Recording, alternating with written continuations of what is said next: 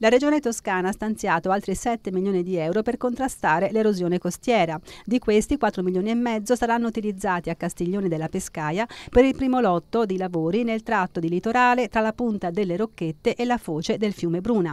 Altri 2 milioni e 860 mila euro sono stati invece utilizzati per il ripascimento della spiaggia di Punta Ala, su cui sono stati riversati 90 mila metri cubi di sabbia.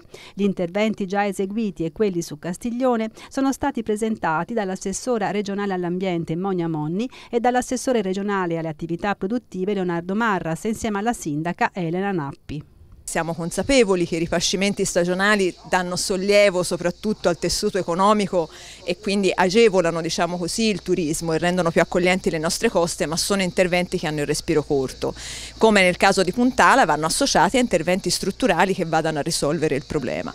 In questo caso è visibile l'effetto di questi lavori così importanti per i quali permettetemi di ringraziare il genio civile perché questi sono lavori made in Tascari, sono tutti fatti dai nostri dipendenti guidati da Renzo Ricciardi con un team di ingegnere al femminile e dalla progettazione alla direzione dei lavori è tutto fatto in casa toscana. Per quanto riguarda i lavori fra la foce del Brune e Riva del Sole è prevista la realizzazione di cinque isole sommerse a contrasto dell'erosione e l'inserimento di nove pannelli in massi e geotubi. Il ripascimento sarà effettuato con la sabbia antistante il porto di Marina di Grosseto. Procederemo nella stessa maniera con un altro tratto di litorale di altri 7 km. Intanto abbiamo finanziato il primo lotto, restituiremo altri 20 metri a queste spiagge.